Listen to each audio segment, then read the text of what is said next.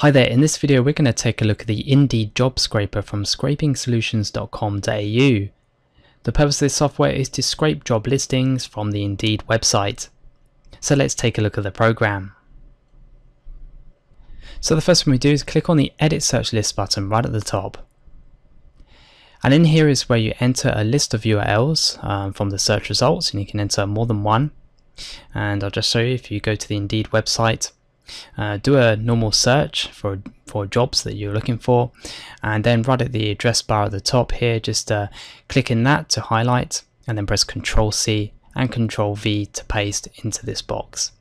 So once you've got your URL in the box press on the OK button and then I'll also mention the um, auto export feature here before we start the scraping process. Um, if you want to auto export um, all the uh, data into a CSV file, just simply uh, tick the box right here and it, the uh, data will be saved in the output folder which will be created in the debug folder once you start the scrape.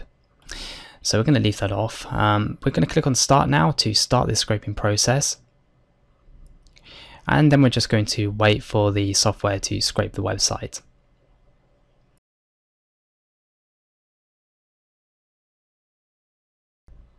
And when you're ready to stop the scraping process, press on the stop button right at the top. And then press on OK.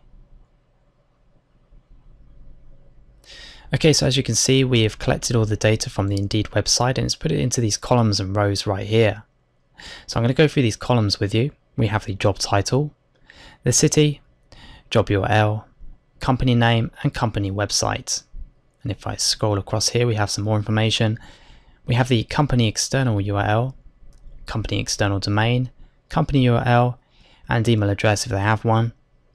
And we have the reference URL, the URL and scrape date. So all that information has been collected and we can now go ahead and export. Click on the Export To button right at the top. And then select where you want to put this file on your computer. Now I've chosen desktop right here just type a file name, I'll call it data. And then here is where you can select the uh, type of file. You can choose a CSV file or an Excel file, so choose which, which one you want. I'm going to use a CSV file and then just simply press save. Export has been completed, press OK. And then if I bring the file into view, we have our file right here. And then we can go ahead and open it like so.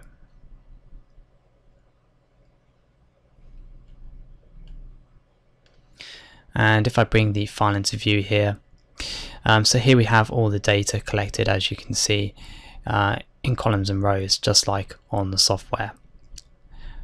So you can go ahead and use that as you wish. And just a reminder, as I said before, you could have gone to the auto export button right at the top here to um, export the data into a CSV file when you start a scrape. And this data will be located in the output folder of the debug folder. Right at the top here we have the settings button and we're just going to go through some of the options here. Now this one is max threads.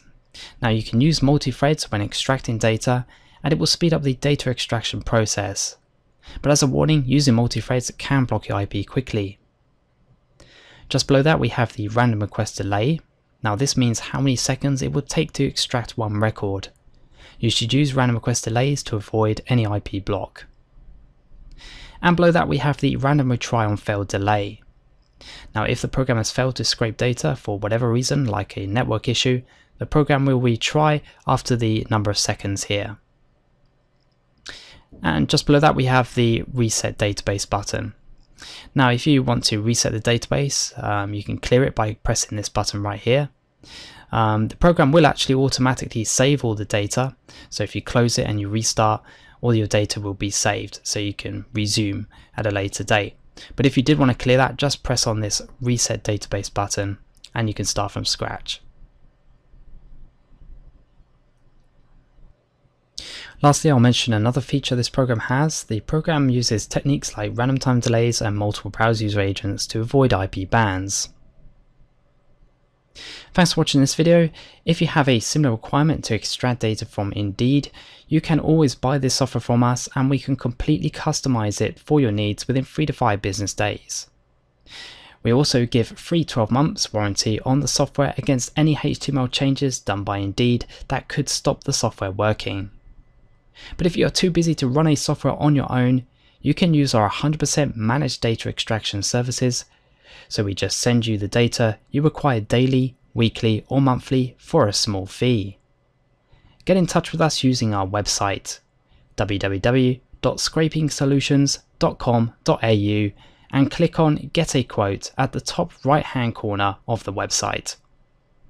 We will then give you a quote for our managed data extraction services or to buy the software as it is with any modification you like to it.